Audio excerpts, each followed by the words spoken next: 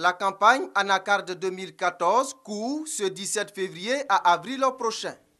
Après concertation du Conseil du coton et de l'anacarde avec les acteurs de la filière anacarde, le gouvernement, après Conseil des ministres, a décidé de fixer au titre de la campagne 2014 la commercialisation de noix de cajou, un prix plancher bord champ de 225 francs le kilogramme de noix de cajou, bien séchée, bien triée pour la campagne principale.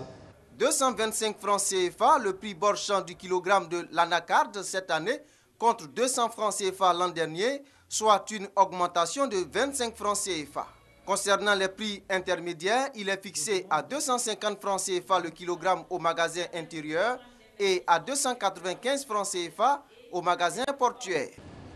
Je demande donc, au nom du gouvernement, à l'ensemble des acteurs de respecter scrupuleusement ce prix plancher parce que c'est le producteur, on a cesse de le dire, à la base de la création de la richesse qui doit bénéficier en priorité des retombées de cette richesse.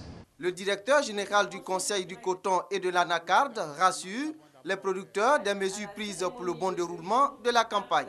En 2013, le Conseil du coton et de l'anacarde a enregistré une production nationale d'anacarde estimée à 500 000 tonnes, soit une augmentation de 50 000 tonnes comparativement à la production de 2012.